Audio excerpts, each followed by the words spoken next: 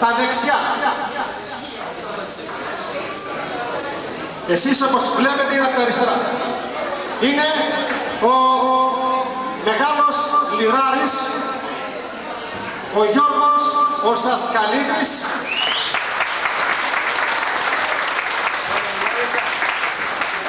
λιράρης και τραγουδιστής, γεννήθηκε στο χωριό Άγκιστα, Αγκίστα μεταξύ Σερών και Δράμας, αλλά μεγάλωσε στη Θεσσαλονίκη.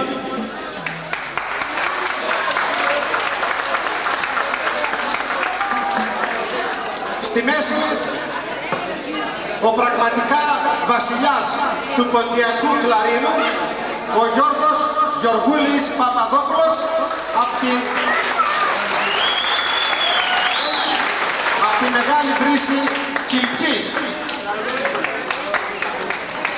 Πασίγνωστος από τα πανηγύρια, τους γάμους και τις διασκεδάσεις σε ολόκληρη την Ελλάδα, όπου προσκαλείται από τους δίσκους που έβγαλε και έχει και δικό του κέντρο, είχε δικό του κέντρο κάποτε τη Λεμόνα, μετά, μετά από τη Λεμόνα, 17 χρόνια το κέντρο Λεμόνα. Πολύ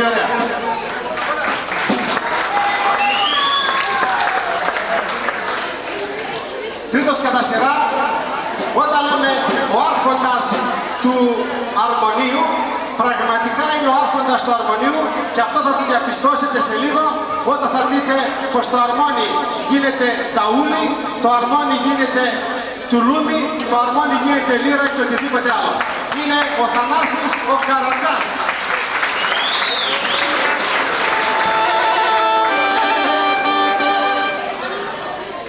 Ο Θανάσης ο Καρατσάς γεννήθηκε στο χωριό Μυριόφυτο, Παύλα Μουριές, Κιλκής.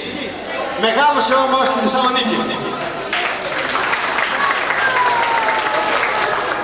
Πασίγνωστος από τα κέντρα της Ελλάδος και από τους δίσκους που έχει κυκλοφορήσει.